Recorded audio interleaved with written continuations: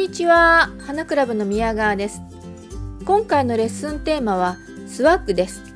スワッグとは本来壁掛け全般のことなのでリースなども入るのですが現在の日本でスワッグといえば花束をひっくり返した形状の壁掛けのことを指しています。まあ難しく考えず花束を壁掛けにしたものと思ってもらえばいいですね。第1回スワッグレッスンは可愛いイメージで作っていきます。花材はユーカリ、サポナリア、バラ、スプレーデルフィニウムの4種類。花だけ見ても可愛いよね。すべてドライになるお花たちです。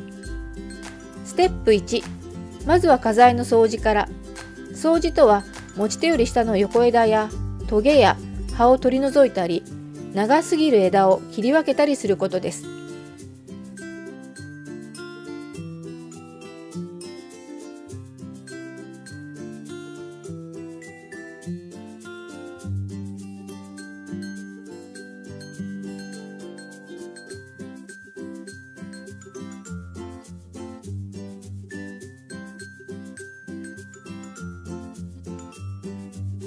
テップ2組んでいきます。一番長いユーカリを持ちます。その上にスプレーデルフィニウムを重ねます。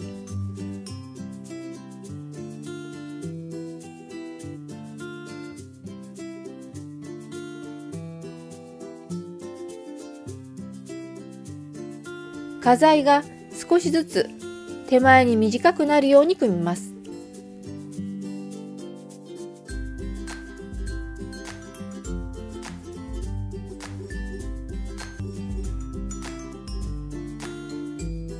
左右のバランスが極端に違わないように注意します。あまり難しく考えずざっくりで全然大丈夫です。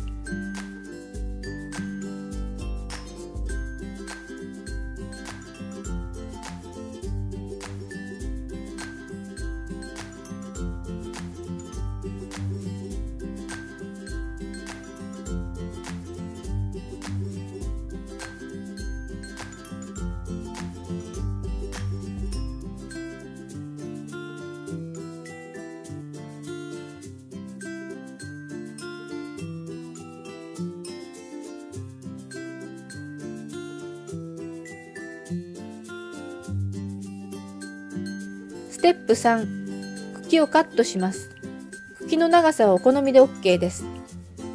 ステップ4持っていたところを紐でくくります。花材は乾燥して縮むのできつく結んでください。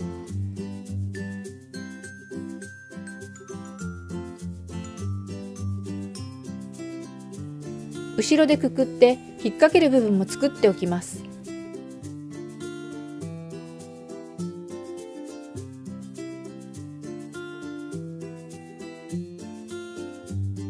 ステップ5最後にリボンを結んで完成です。リボンでイメージが変わるので好きなものを選んでね。私はピンクと高相性のブラウンをチョイスしました。文字柄入りでなんだかちょっと美味しそうなんて思うのは私だけでしょうか。初めてのスワッグ作りのポイントはまず花材選びかな。ドライになるお花で長く楽しめるものがいいですね。次に壁にかけるので背面がフラットに組める花材。壁につく部分はうねうねしてない方がグッドです。テクニック的には後ろが長めで薄く徐々に短くなって厚みを出してきます。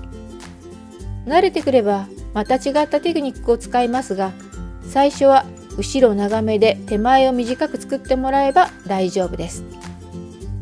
飾る場所ですが直射日光やライトが直接当たるような場所はお花の色がきれいに残りません。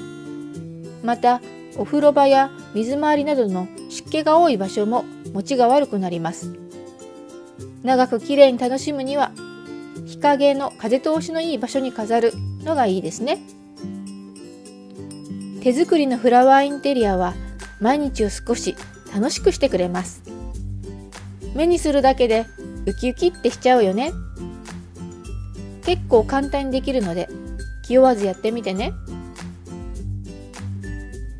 今回も見てくれてありがとう。ではまた次のレッスンもお楽しみに。まったね